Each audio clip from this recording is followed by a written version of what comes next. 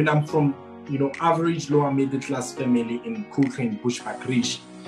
Um, but I made it, you know, where I come from, there's no opportunity. So you need to always think out of the box.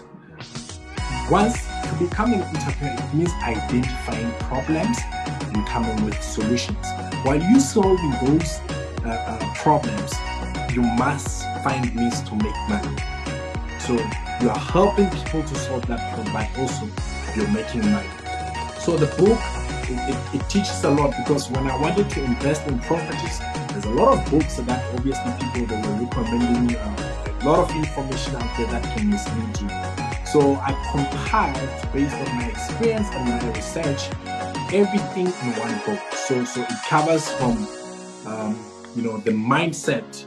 Um, I can just give you a, a few, um, let's say, a few uh, topics that the book uh, uh, covers. Um, so it, it's just about motivation, property, um, my journey as an entrepreneurship, the mindset you need to have as an entrepreneur as a person.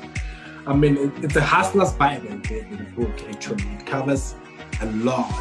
And um, I will just, I want just to, to, to, to just, just share the topics, the books it has that it covers, so at least you can understand what are the things to expect from the. And by the way, we sold 3,000 copies.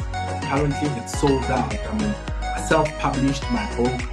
I need to help others who want to write their book to publish your book. That, that's absolutely amazing, Nicholas. Well done. Self-made millionaire, self-made, self-made author.